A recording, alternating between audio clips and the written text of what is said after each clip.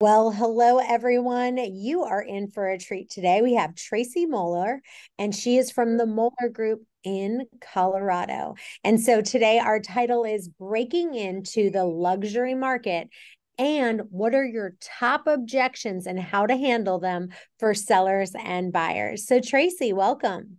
Good morning, everyone. Thanks for including me today. I'll do my best for you here. Great.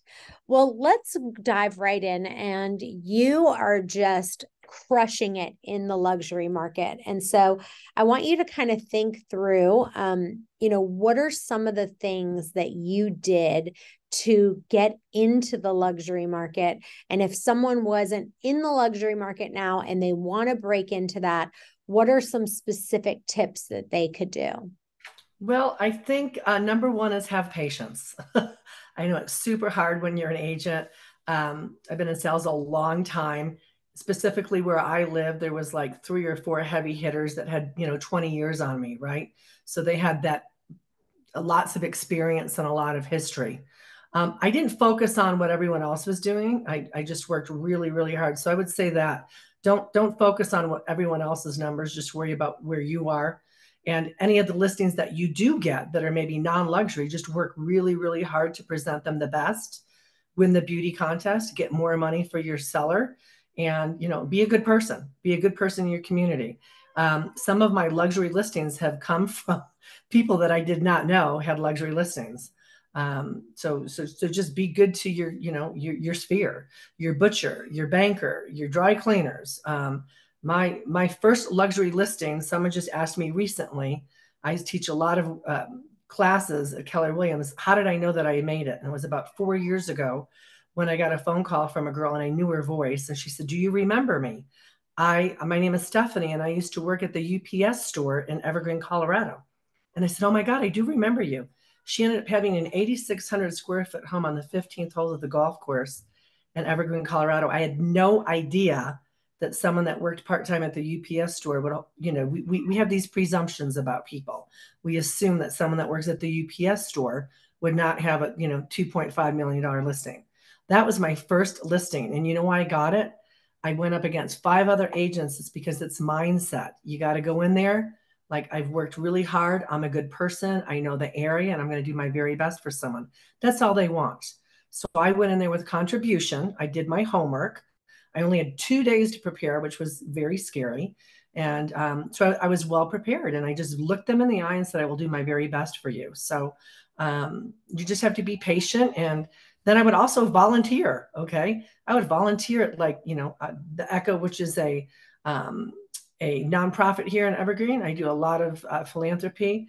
I donate at the Sacred Heart Home, which is a shelter. There's a lot of high uh, affluence um, going there with people donating. So um, it's patience. You just you just got to pave your way. It, it takes a couple of years. I just started my eighth year, and now I'm really primarily do only doing luxury, uh, but I'll help anyone. So again, um, I, I treat all my listings like luxury. I think it's the experience that it's not just a price point. It's the experience that people have that that's important that they remember. Remember that it's not. Yeah. They, so of course they, they remember how much they got for their house. Don't get me wrong but they really remember how you treated them. And I think at the end of the day, that's what separates people that are really successful is, is, is the experience that you allowed them to have with you. So I am very high maintenance myself and I love to like for example I I have a luxury listing I'm not selling my house right now but I do and so I would be a luxury client that someone would work with and for me I would say I'd want someone who they were an agent that elevated every aspect of their service to me. And so, for mm-hmm. example, I love if I'm going to go stay at a hotel, my first choice is always the Four Seasons, and my second choice is the Ritz Carlton. And then my third choice would probably be a JW Marriott. And then everything else from there to me would be like camping because I am so big on service. So I want you to kind of talk about the level of service that sure. you give because if you want to be a luxury agent bottom line to me, number one is that means that the level of service that you give to your clients has to be second to none. Otherwise, just if you aren't that over the top, just get don't even think about going into the luxury market in my opinion. So give us some tips of some of the like extra things that you do okay sure. for service well, here's an example. Okay. I don't care what your price point is. Moving is difficult and it's really stressful. I don't care how much money you have in the bank and how big your house is, right? It promotes this uncertainty, it promotes anxiety. I had a luxury listing recently where she was the CFO of um, National Geographic. Okay. She had worked there for like 28 years. She had a mountain home it was luxury. Well, she had enough books to fill up a library, okay? And like plants, and even though the house was beautiful and had views and all those things, I have a team that actually comes in there and gets rid of all of that, right? So it completely, you know, really helped her with her anxiety level. That I had a team that would come in and pack those books up, donate them, get rid of the plants, drop them off places. So, um, and or if I live in the mountains of Colorado, I have a luxury listing coming up that's in the foothills. It takes a little bit to get back there for the views. And I have, you know, called my snow service guy. Like I've already taken that up. I've taken that element of anxiety. So I take all the anxiety away from the client. So whatever that would be, everyone's everyone's different of what they're, you know, of, of, of what, what's going to make them nervous in the transaction. So it's it's from, you know, transactions end, right? Um, relationships don't. So it just depends on, you know, just remember that and people know that. So, um, and and I actually do two videos, right? I do like one video where I, which is an old time photographer who is the best in Colorado, and uh, his his MLS pictures are the very best. And I pick the music, and then I have another younger photographer that, who's in his 30s that's very you know digital, and he does a cinematic. So I do both of those so that the, the seller can look at both of those because we're gearing to two different spheres sometimes. Um, and you know basically I, I i i make sure that the house is presented impeccable. And i mean impeccable. I look at luxury listings. I just looked at one today. It looked like the agent was never there. The master pillows were not even straight. So um, you know i'm always there for every photo shoot. It's not my assistant and i just make sure everything looks perfect and that it's presented. And i don't rush a listing okay? I never it's kind of like the bank right when you need a loan at the bank and you go in, they're not going to give it to you. They're going to give you the loan when you don't need it. And that's how a luxury listing is. So don't ever go in like you really need it. So, one of the things when I go to the Four Seasons that I love is one, they have like daily, tw- twice a day, they have housekeeping services in the morning. Then they do turn down service with mm-hmm. little chocolates. You know, yeah. if if I bring my pet, they have pet amenities. My kids, when they come, they give them a little gift to, to my son. Um, you know, there's just so many little extras that they do to make me feel special and make me feel like like I'm really on vacation and I don't have to worry about anything. I mean, my every little need is met. So talk about some things that you do even like when you would when you go to the listing presentation, sure. are you bringing anything with you and what are some of these extra little amenities sure. that are well, chocolates. Okay, always always bring something. Okay? Bring something that that's going to last for a couple days. Um, I don't suggest a candle because that, you know, everyone's kind of scent and alcohol. I don't believe in bringing alcohol. People that are selling luxury listings have their own uh, repertoire for wine, fine wine. So, um, you know, I have a state, I have a, a couple things. I have a, a, full staging team that comes in and hey, look at, I've gone to a lot of luxury listings. I have to be careful where the furniture is not the furniture that I want to photograph. Okay. So number one, I bring honesty and I bring a full staging team, a videographer, a photographer. I have a full time cleaning service company that does an, a move in and move out that's included in my fees. And I am bringing um, an interior designer from the Bay Area that has 10 years of luxury hospitality.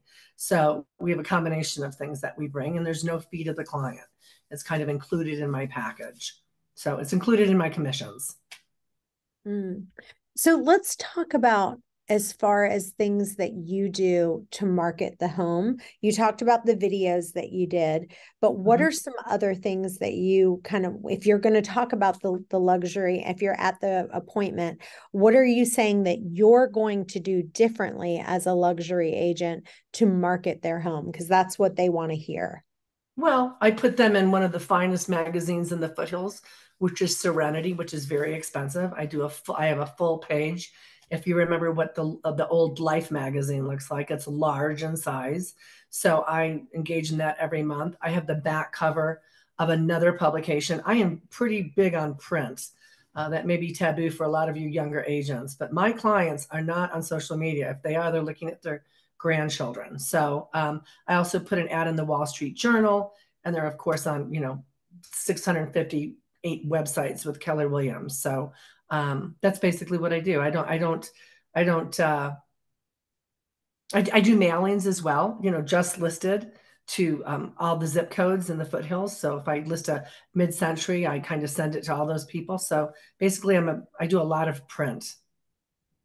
So someone breaking into the luxury market, they want to kind of establish relationships with wealthier people and so maybe is there anything that you've done as far as like talking to your CPA or talking to your attorney or building relationships with people who have a higher net worth that might be able to introduce you to someone in a more of a luxury market? What are some tips in that area if they wanted to break in? Oh i kind of just lost you. It just said it was recording you know, it's my sphere already. You know, I don't want to be pompous about that. I have very wealthy family in Chicago, two brothers um, that I do. Ref- I do referrals a lot from Chicago, right? So, um, either my family's been in the law business for 98 years, so I have a lot of connections there. I said most of my business is referral based, um, but I, you know, I don't falsely join groups to get business. I guess you're asking me. I don't really you know, my sphere is luxury. I live in a luxury home. I live in a luxury neighborhood for the last 25 years. And it's been very difficult for me to, you know, I'm a family woman. I raise my children here and I don't want to be discouraging, but it's, again, it just takes time. It, it, you, you have to have production to get production. That's, that's basically, um, but I'm not, I'm not joining, you know, you know, the opera and, and, you know, misrepresenting myself. Um, so, so I guess I'm not your candidate that's, you know, joining high net group people.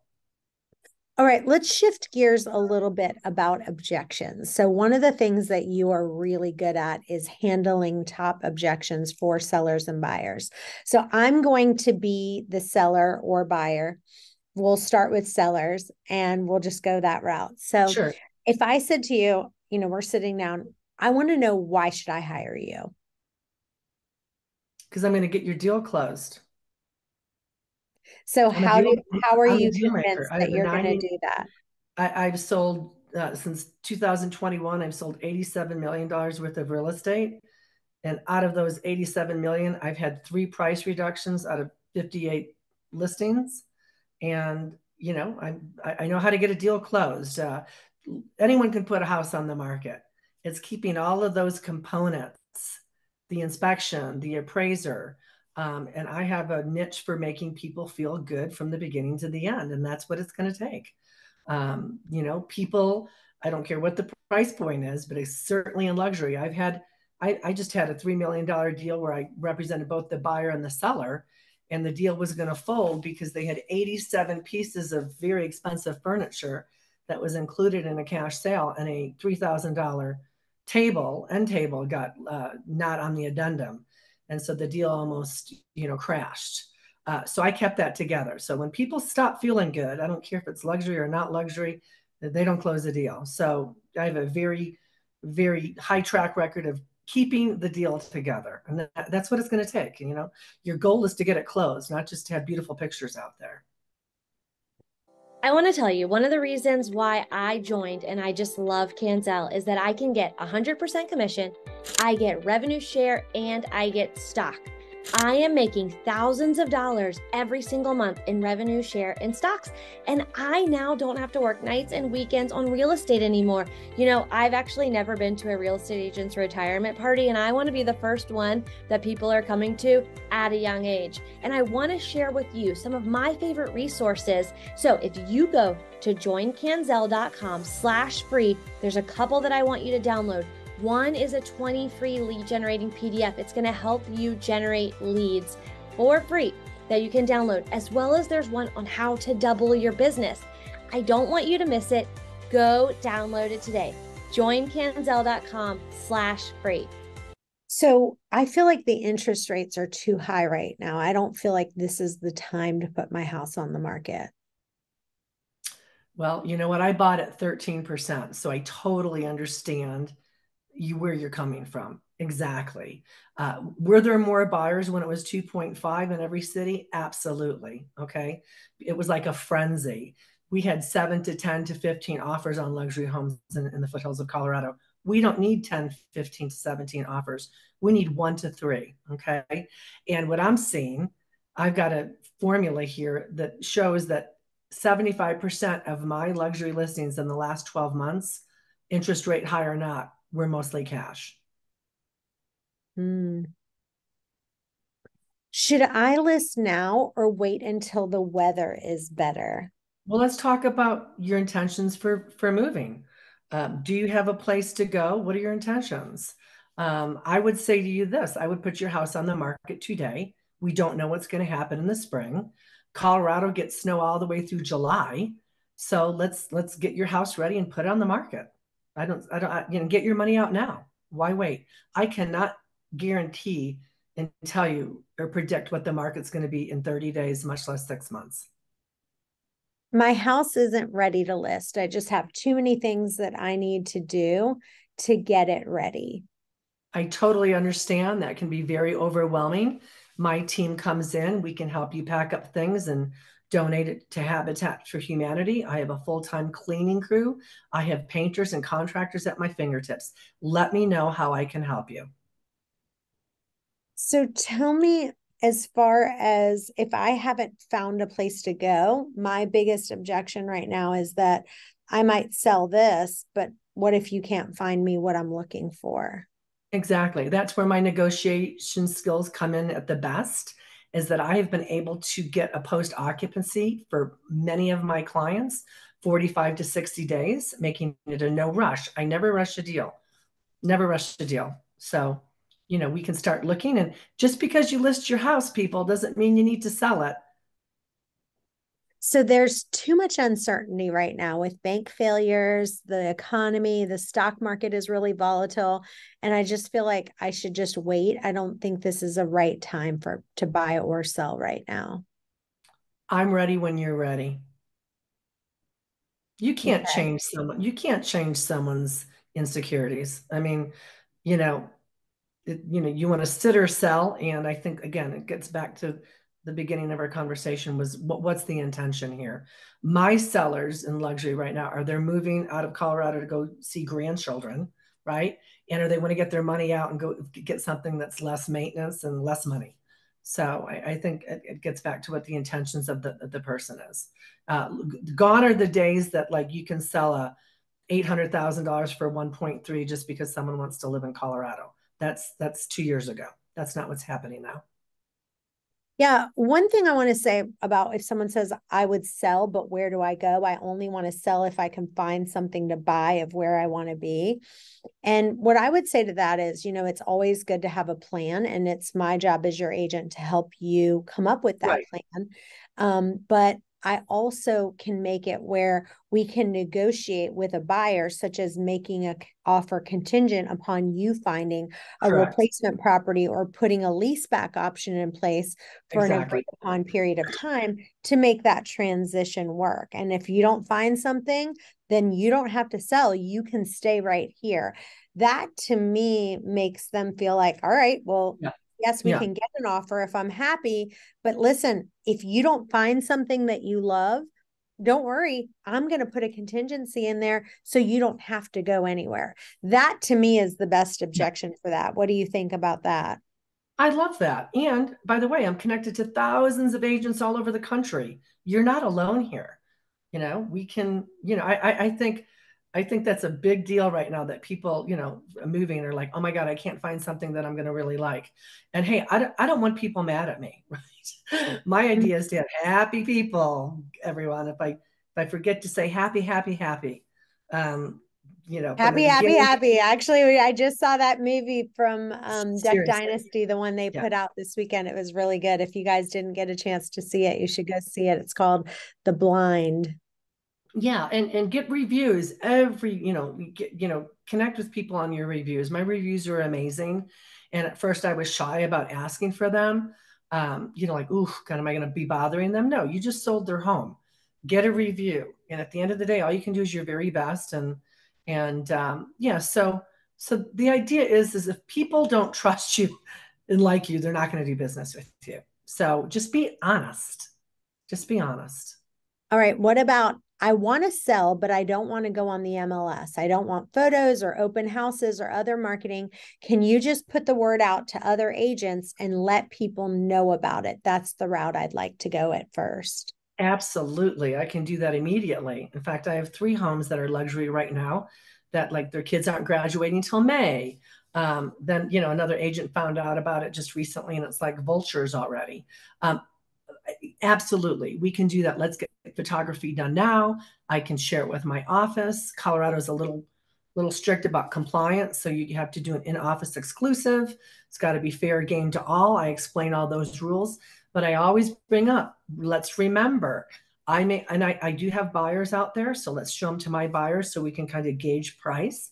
It can't hurt you at all. But let's remember, sometimes you get more money when you go on the market, right? Yeah. So, you know, I always try to do those proactive tidbits that, you know, sometimes that we forget because we're excited about the listing. But remember, when you, you know, I always feel like I have to bring that up. Like, let, you know, let's get a bid war because where I live, there's still two to three buyers for any home that wins the beauty contest, right? So um, that's kind of and I love that you said that. I love that you you started out by saying because again with luxury or with anyone, they want to feel like they were heard. So I would start exactly how you said, which I would yeah. say, Absolutely, I can do that. But I would like to discuss why you feel that way. And I understand your concerns about exposure and privacy, but the reality is is that properties have the best chance of selling when they've been able to have the most exposure, which is doing the the marketing yeah. that I do and putting it on the MLS and the goal is to create a sense of urgency because urgency leads to action. And so when the property is not publicly on the market, right. people may appear interested, but then they just take their time and yeah. it's not out there for all to see. So while I can do that, I yeah. don't feel like that is in your best interest. And my goal for you is to get the best price and the best terms for you with the yeah. fastest process. So I understand right. your privacy concerns, but what's yeah. more important? Me getting you top dollar and faster, I'm sure is probably your best con, you know, best thing yeah, that you're looking absolutely. for. Yeah, and validating those. And I'm, you know, we, we're hearing the interest rates, right? Especially when you're dealing with luxury people. You see all these agents putting on like what the interest rate is, what's going on. You know, a lot of people that are selling luxury, they have financial advisors. They're very well aware of the interest rates and what's happening in the stock market. So don't don't don't try to educate them and or minimize the fact that, you know, yeah, when you bought a 3 million dollar house 2 years ago at 2.5, it was a very different monthly payment than it is today. So again, just, you know, um, validate their concerns and be honest with them. What about I don't want a lockbox on the property? Mm, well, don't worry about that. I've got three people that work for me that can show the house without, you know, meet meet those agents and get them in. There's a lot of luxury people, uh, and I understand your concern. Um, um, I will I will handle that. I, I for me, um that this is how i would say it because i would always want to have a lockbox on the property but i would say yeah. you know go ahead there's a lot of people that don't want a lockbox on their property yeah that, that yeah so yeah. yeah and i understand that and what i would say i would really put like i think what happens is most people are like i don't want a lockbox and they go okay no problem and then yeah. they just do that but for me I would really try to handle that objection and I would try to do it several times. And what I would say is that you know, I understand what your concerns of not having a lockbox on, but I believe that a lockbox is the best way to go. And let me just explain a couple reasons why. Um, agents and buyers don't like to spend time trying to see homes that aren't easily accessible. And although I have a team of people that can help me with the showings, you know, you having a lockbox and we don't have to put the lockbox if you're not comfortable with the lockbox being on the front door then we can put it on the side of the house there's other places that we can do but we don't want to make it where I or my team, there are times where, let's say you're out of town for a week, it's available to show. And I, someone wants to see it at 8 a.m. on a on a Friday and I'm not able to do it right at that time, we want to make it as convenient as possible.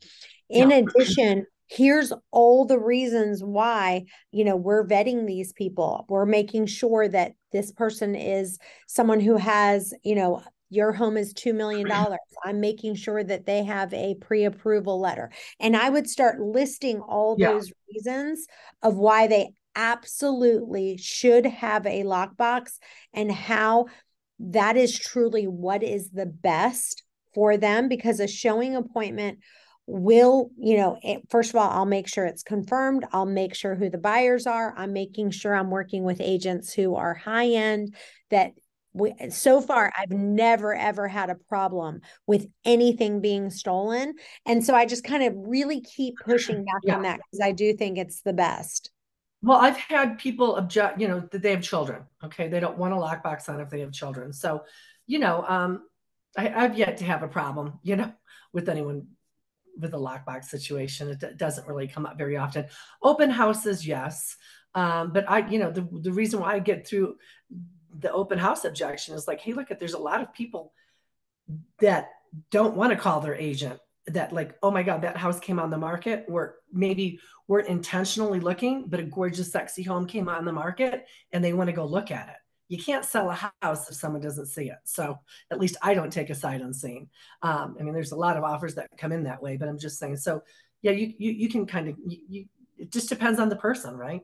Depends how yeah. adamant they are. Well, we are out of time, but I want you to handle yeah. one last objection before we do. And that is I only want to go to the listing agent for properties I'm interested in buying. How would you handle that? You're you're talking about uh, for a buyer objection? A buyer objection, yeah. They say I only want to go to the listing agent for the property. I don't want to go to the use another agent you're talking about if I wanted to represent a buyer, I'm trying to get a buyer's a, a buyer luxury agreement. Yes. How how sure are you that they're going to be able to take care of you like I am? I mean, you don't even know who these you don't you don't know who the agents are, their background, their history. I know the area, and actually, I am a heavy lister in the area. Why would you not want to work with me? I, I've got the most listings in the whole area of Colorado. Mm, yeah. Contrib- contribution. Yeah. And if you didn't have listings, I would say something along the lines of, you know, as a seller's agent, they are hired yeah. by the seller to represent their interest, obtain right. their highest price and their right. best terms. That's what they are are wanting to do.